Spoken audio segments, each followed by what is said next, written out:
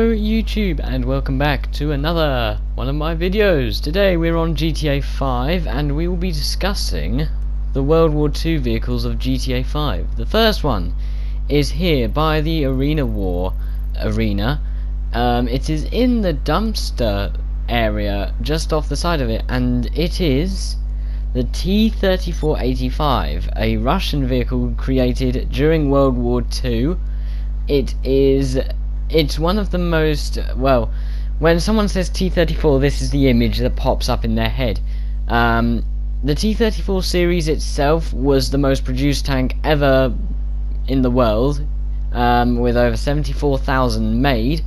And in GTA 5 it is pretty accurate with the model design. It's got the exhaust it's got the oil tankers on the side. However it's not a drivable vehicle in the game.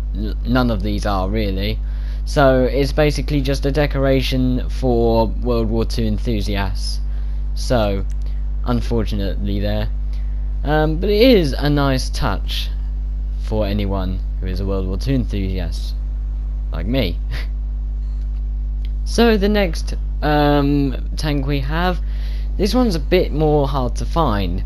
It is near the Merryweather Labs, um, uh, and it is in the ocean so uh, you have to go to this specific spot right here since it is one little dot in the middle of the entire ocean.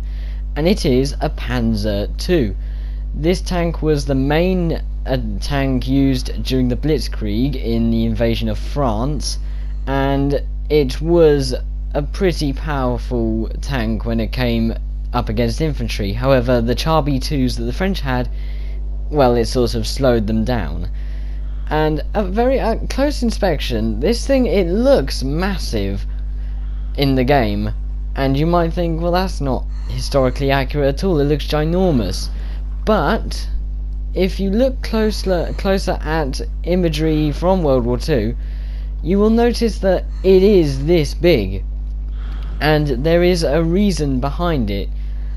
Um, you see, during World War II, the Germans always wanted bigger and better tanks. So, even their medium tanks eventually became bigger than our heavy tanks. As you will see in this image, a Churchill Mark 7 is smaller than a German medium Panther.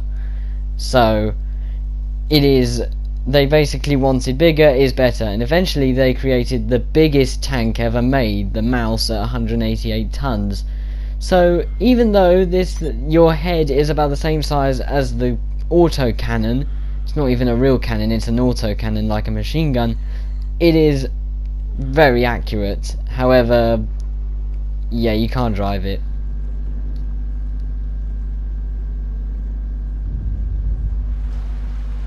What the hell? Uh... Huh.